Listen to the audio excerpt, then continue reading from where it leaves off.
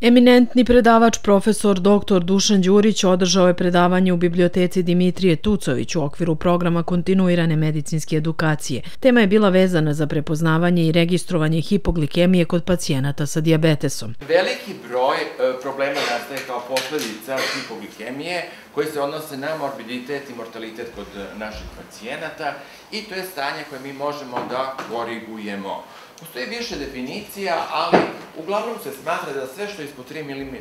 ovaj, uh, milimola po litru u venskoj krvi glikemije, da to je praktično uvod u hipoglikemiju i znači možemo je na različite načine klasifikovati prema vremenu nastanka, da li usled dijete, postprantijalna, da li je vezana sa ovim uzrokovana vežbanjem, ali uglavnom je kod srećemo kod pacijenata sa diabetesom i to kod pacijenata koji su na ovaj, tretmanima ili insulinom ili lekovima koji pojačavaju lučanje insulina. Program kontinuirane medicinske edukacije bitan je za licenciranje zdravstvenih radnika i prikupljanje određenih bodova koji se dobijaju učešćem na seminarima. Cilj je da medicinski radnici idu u korak sa visokim savremenim tehnologijama uz podršku udruženja. Program je akreditovan za zdravstvene radnike svih profila i jako bitan zbog aktuelnosti samih tema i inovacija u znanju. U periodu korone uspeli smo da održimo kontinuitet u predavanjima jedino online, tako da naši zdravstveni radnici nisu gubili u smislu sticanja znanja i novih pristupa i što je najvažnije uspeli smo da obnovimo svoje licence, kaže Suzana Stojsavljević, predsjednica podružnice u Lazarevcu. Ona kaže da je jako ponosna na svoje kolege koji su zahvaljujući zajedništvu i timskom radu uspeli da prebrode jedan težak period, ali da ih je to navelo da rade još više kako bi pružili svu adekvatnu i neophodnu zaštitu pacijentima. Mi smo sve ovo vreme, sami znate, imali jedan težak period koji je na svu sreću iza nas, nadam se.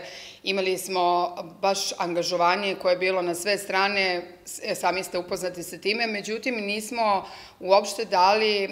značaja toliko tome da mi moramo da ovaj, se samo posvetimo tome, a da neka naša edukacija, neko naše obrazovanje koje stalno iziskuje medicina, da stavimo u zapećak, što se da i videti. Ja moram reći da ova godina je bila relicencirana godina, što znači, to je nama vrlo bitno bilo, da tih sedam godina prethodnih da smo imali svi bodove i da smo uspeli da svi obnovimo svoje licence. Mi smo to, u tome uspeli, to je još jedan veliki plus za našu podružnicu, za naše udruženje.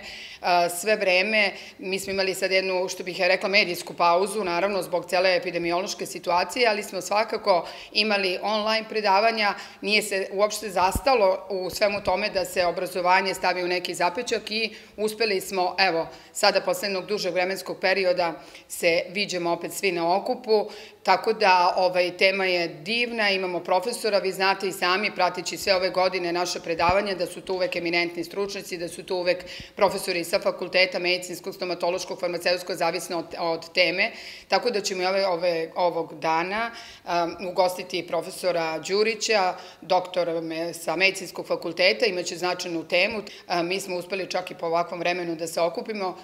taman onaj šlagvort koji ste mi dali na početku, da jedna sloga, jedno, jedna, jedna kompantnost koju mi imamo ovaj, kao udruženje i što se pokazuje na terenu, evo i ovog sada puta, po ovom vremenu su došli uglavnom, jer nije samo stvar u bodovima, stvar je da se stiču neka obrazovanja, neka, neke teme su vrlo bitne, da se primene u praksi i to je nešto što jeste primat našeg udruženja. Ovo je rezultat saradnje Lazarevačkog doma zdravlja i udruženja medicinskih sestara i tehničara primarne zdravstvene zaštite Srbije. Cilj današnjeg, ali i svih ostalih skupova u okviru kontinuirane edukacije zdravstvenih radnika u Srbiji je da neophodne medicinske informacije u svakom trenutku budu lako dostupne u svrhu stalne edukacije i poboljšanja kvaliteta zdravstvene zaštite.